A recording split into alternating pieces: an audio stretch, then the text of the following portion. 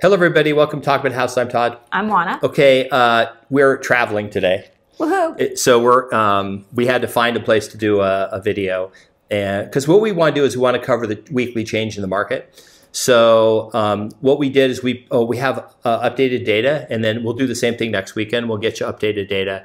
Uh, we'll talk about all the changes in the market, but uh, so we'll start with the market action index. Right now, it's as you can see on this slide, it's 36. It's going up. We're going to show you another slide that's very interesting. Okay. Um, uh, 36, uh, you can see the little where it says last month and there's a gap. It was like 34 uh, last month. So it's gone from 34 to 36. It's not a substantial gain. Um, but when I show you the next chart, you're really going to be blown away. Okay. Right, but it's a pattern because you know we were at 32, 34, now we're at, th- we're at 36. So it's a pattern and it's uh, it's a trend. Okay, so this is the market action index over the last four years. It goes all the way back to actually it's almost five years. Goes back to 2018. Okay, and if you look at all of 2019, they're over toward the left. The market action index never broke 40. it stayed in the upper 30s, real literal. It went down to like 36. It's 38, 39, pretty much the whole time. Right? So you're saying that the market now is the same or hotter than it was in 2019. Okay, so we just said the market action is 36, but that's the 90 day average. Mm-hmm. The seven day average is 40. Okay, so it's definitely hotter than it was in 2019. The seven day mark, okay, the real estate the last seven days, meaning even with interest rates have, have been going up the last two weeks. Mm-hmm. Because everyone said, as soon as those interest rates go up, man, the market's going to collapse and die. Well, why then is the market action index higher than it was in all of 2019 when interest rates were like 3%, right? Uh, maybe there's, it, there's not a one for one correlation between interest rates. There isn't. I mean, a couple things. First of all, people have to live somewhere. I say this all the time. So it's the spring buying season. People are out buying, period. Uh, you can also consider a couple other things. First of all, uh, people are adaptable. So the current interest rate environment uh, has uh, definitely lost its luster. Okay. And then the other thing is, you are going to have people who are saying, "Hey, um, the home that wa- that I wanted came on the market. I'm going to go ahead and buy it. And besides that, interest rates may still go up higher, so I may as well go ahead and bite the bullet and buy the house now." Okay. So there's a lot of stuff. And you guys know that we're pragmatic and but we look at all the data. So a lot of the information we've been given by people's anecdotal and opinion, right? Mm-hmm. Oh, well, when this happens. So we're going to talk about that as we go through because there's a lot of numbers here. So here's the next one. I zoomed in on this because as you can see, there's a couple interesting things in here. The first thing is the median list price. It was 483 back in J- January 20th. Here we are in early March. It's 499.9. So it's basically 500,000. It's got it's going and you could see it's basically gone up or stayed the same every week. That does not happen in a market where prices are falling. Right. So this is happening for a couple of reasons. One, like I said, people have kind of gotten over the whole interest rate bit. And then the other part is it is the spring buying season. So let, let's not um, underestimate that. We, are, we were expecting this and we, we said this was going to happen. This is going to continue to happen for the next few weeks. It will probably start to wane once we get into May or June.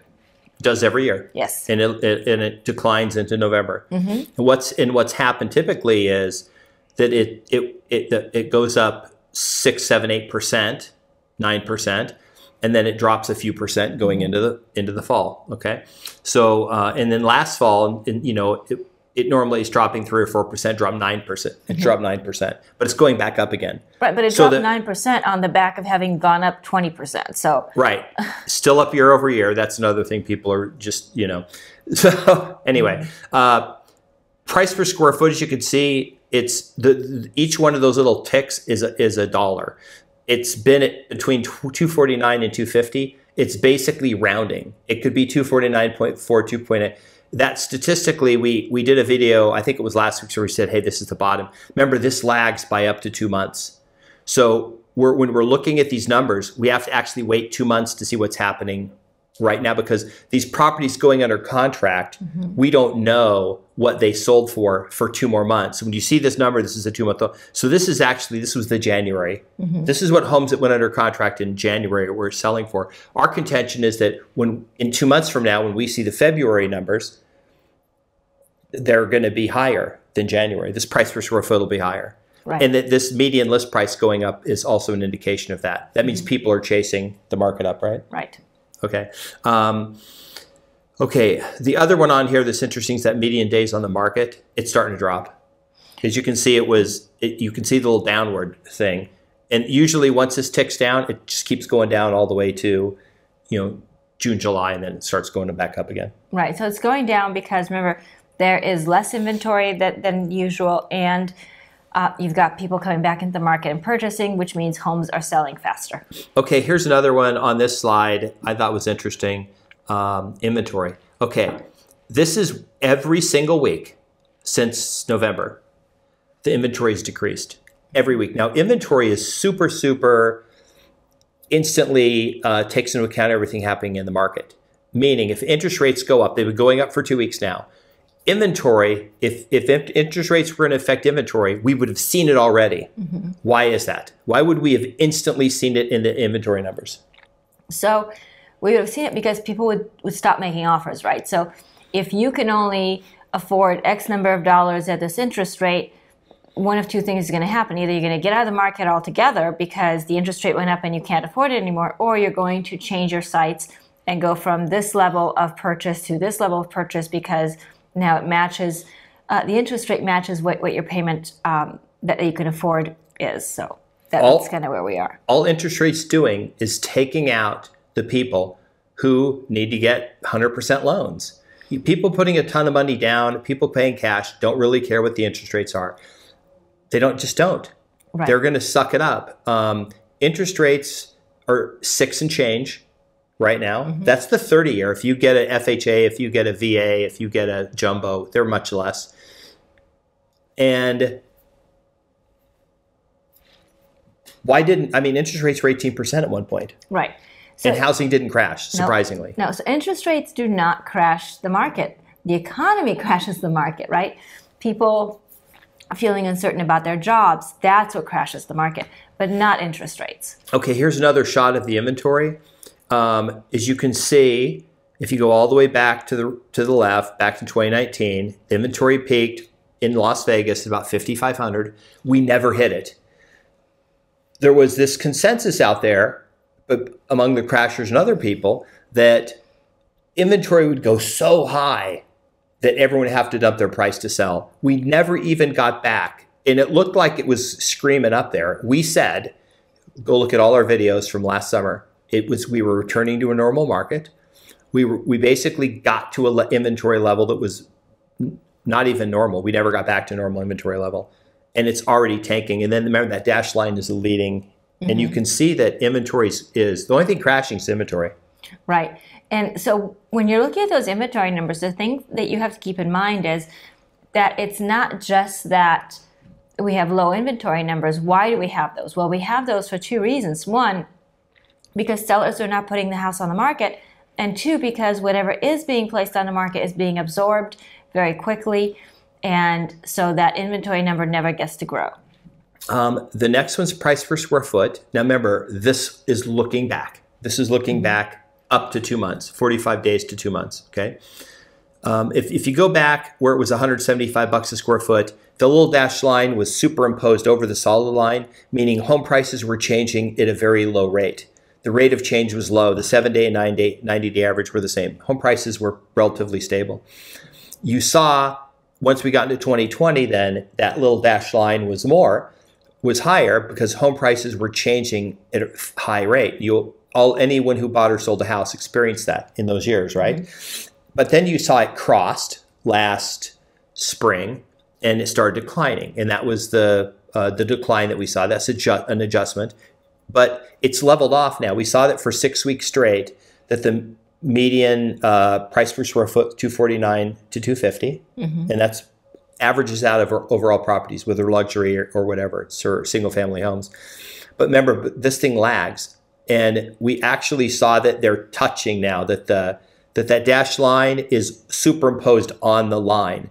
So what that says going forward is either it's going to flip over and what happens if the little dashed line flips over and becomes more than the 90 day average That means that we've got a market where uh, home prices are, in, are increasing. Okay, that's one possibility. The other possibility is it just stays the same and home prices basically kind of go sideways for a while. Right. So in this market, it's probably going to be just a slight increase because it's springtime and Yeah. because we don't have inventory. And and there's nothing to say home prices won't adjust again. Home prices adjust all the time. They hum- adjust all the time, right? And we don't know what interest rates are going to do. Nobody knows, and we don't know what inventory is going to do. But I can tell you this: I'm I'm looking more at the inventory numbers than I'm looking at what interest rates are doing. yeah, To me, I- that's more important. that, that is more important because the lower the inventory level, the more pressure there is on buyers to not um, try lowball properties, and the more support there is for property values. And the other thing too that I hear is, oh well, but these people they're just gonna they're paying too much and they're not affordable and they can't afford these loans. Well, first of all, the lenders aren't going to loan to them. Mm-hmm. The, the days are gone of them getting a loan that's like eighty percent of their income. If they don't have, if they don't meet the debt to income ratios, they're not going to get a loan. Mm-hmm. So these, it's not like people are running out buying have, with a three thousand dollar mortgage and they make five thousand a month. Zero lenders are going to loan that money. They still have to meet all those guidelines. So the, the, so let's say that they're they're at the highest they could possibly be 37 38% of their income. Uh, it's not likely that they're instantly going to say, "Oh, forget this. I'm just going to let it go back to the bank," right? Because they don't want to trash their credit. And his uh, foreclosure is the lowest they've literally ever been. The people that walked last time had ridiculous loan, like completely ridiculous. It wasn't the interest rate; it was the loan to value and all the other aspects of the loan that were ridiculous. Right, and they didn't have uh, equity in the property. Uh, there, a lot of them did strategic defaults. There, were, there was a lot going on that is completely different than this time around. They had negative equity when they bought it because they were pulling. They'd pulled money out. Okay, here's the last chart. This is extremely interesting. One of our contentions, if you look at the bottom three lines, was that the market didn't drop very far. And now, if you go, remember this, that bottom line is not zero; it's a hundred. So we're starting at a pretty high price. Prices did not fall very much for the bottom three quarters of the market. So, for example, um, all of our rentals are in the bottom three quarters of the market. And we didn't see, when we were looking at comps trying to figure out what they were worth, we didn't see massive price declines. We were like, no, they're not worth a ton less. But the median was 10, was dropping because the median dropped 9% from peak to trough. It dropped 9%, and that was it. But what happened was was the high end homes. The high end homes took the biggest decline. They took a pretty substantial decline that uh, made the rest of the market appear to drag down. But Oana, look at this median, the the the sold price per square foot of the high end homes, mm-hmm. which is the top quarter of the market, is going up.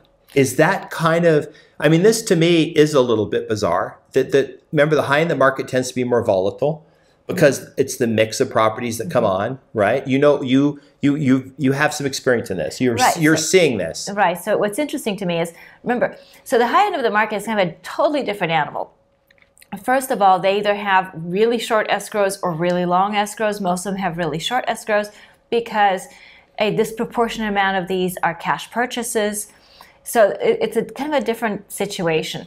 Um, and so when you're looking at these numbers, they're almost real time numbers because so many of these are cash purchases and have short escrows. Yeah. Um, the other thing is you probably have people out there looking at what they uh, would appear to be bargains, meaning they're looking back and saying prices are less than last year, but they're higher than they were two years ago. So that's what those dots are. If you look at the dots, uh, the, the the little blue dot is the is the is the price per square foot, sold price per square foot. So it dropped from the high end, but it's still higher than two years ago. But if you go down to that next group of lines, the red and the yellow and the green, the little triangle is up. It's up year over year. So people are, I know people are going to come on the channel and go, Todd, I went on Redfin, and Redfin says the average blah blah blah, but it's averaging in these super high end homes, which are dra- making the rest of the market look worse. So um, you can't just take you know a forty million dollar house that's worth thirty million now that declined by ten million and say, oh, let's average that into all these four hundred thousand dollar houses, and it, and it it makes it's you know it makes a big difference, right? So here's the thing about luxury houses that I think people uh, sometimes don't realize is their valuation is different than the rest of the market.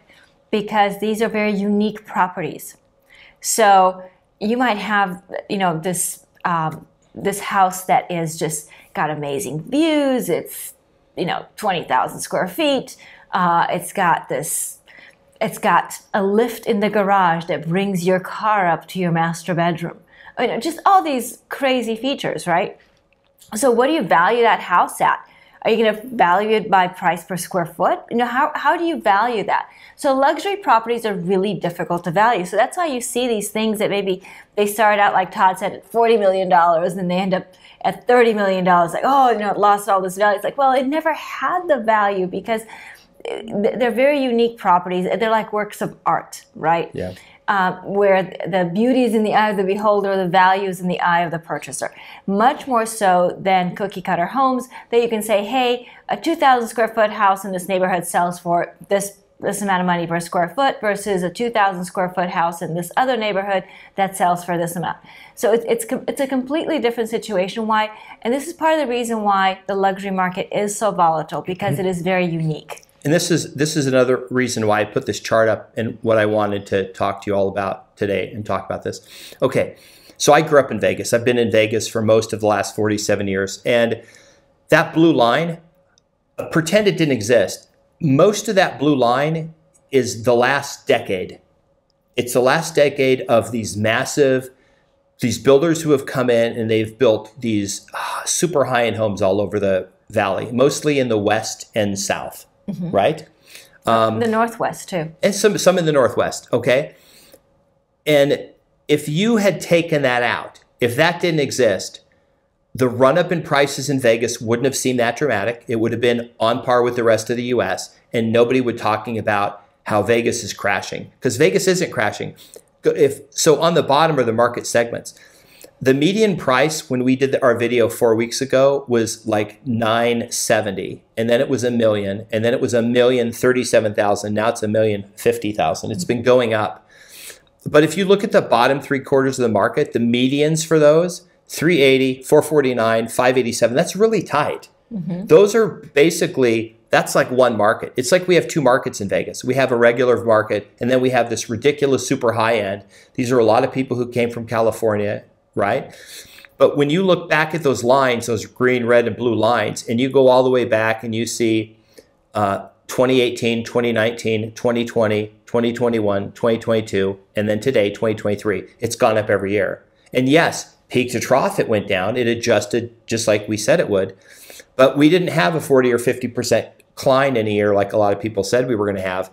and the other thing, too, is that 8% number that I gave you, 8 to 9% number, that includes the high end homes. So uh, it, it from peak to trough, we're down a couple percent. So here's the thing if you panicked and sold your four, five, six hundred thousand dollar house last year because it was going to be worth 50% less and you were just going to buy it back at two, 300,000 after the 50% haircut, right?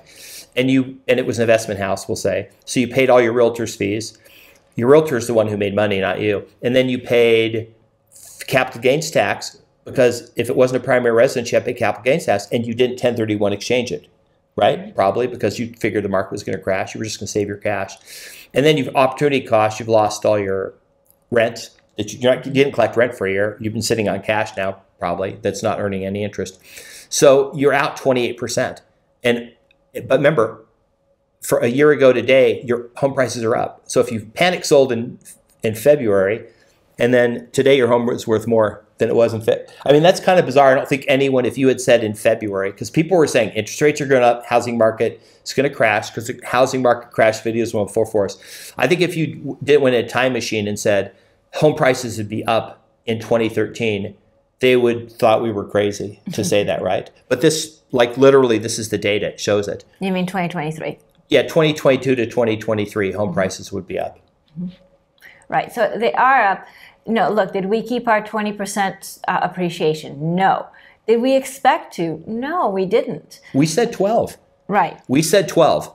It went up 20 and it came down 8. Like literally, I'm not saying we were exactly on, but we're pretty accurate. No, but, uh, you know, o- over time, we know we've said this before, over time, real estate appreciates at about 5 or 6%. Uh, you know, whatever appreciation we've gotten over the last couple years has been absolutely wonderful. Uh, but the idea that we're going to keep all of it, that's not going to happen. Uh, think of it this way: since we're we're Vegas people, you go gambling at the casino. Um, you're, you're very happy if you leave the casino and you're up any money. It's the same thing with with all investments. So long as you're making money, life is good. Would we like to make more? We all would, of course. But at the end of the day, so long as everybody's making money, life is good. Yeah, I think so. So, what do you think about the market? Um, is it is it scary? Is it good? Are you planning to buy? Are you planning to sell? Tell us what's going on with you. Leave us a comment. We love hearing from you. Uh, if you liked the video, if it was interesting, if you like charts, uh, if you like data, please like the video, subscribe, hit the notification bell, share the video, and we'll see you on the next video. Bye. Bye.